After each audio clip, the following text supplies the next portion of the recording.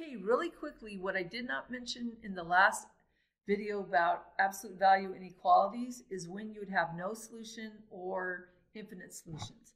So because the absolute value bar literally mean distance from zero, distance is always a positive value. So when you have an absolute value expression and it says that it is less than or equal to a negative number, that's not possible. Distance can't be smaller or equal to a negative number. So any absolute value inequality that is set up to less than or equal to negative a negative number, automatically that's a no solution. Now, on the flip side of that, literally flip side, if you had,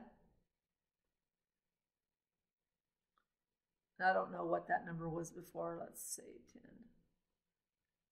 an absolute value greater than or equal to a negative number, well, because absolute value means distance and distance is always positive, that means any distance all distances are greater than negative numbers.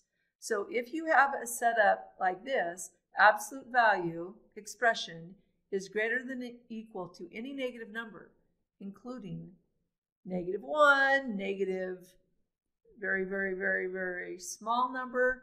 It doesn't matter. Any negative number,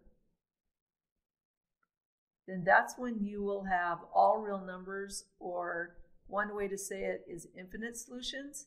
And a way to show infinite solutions is negative infinity to positive infinity.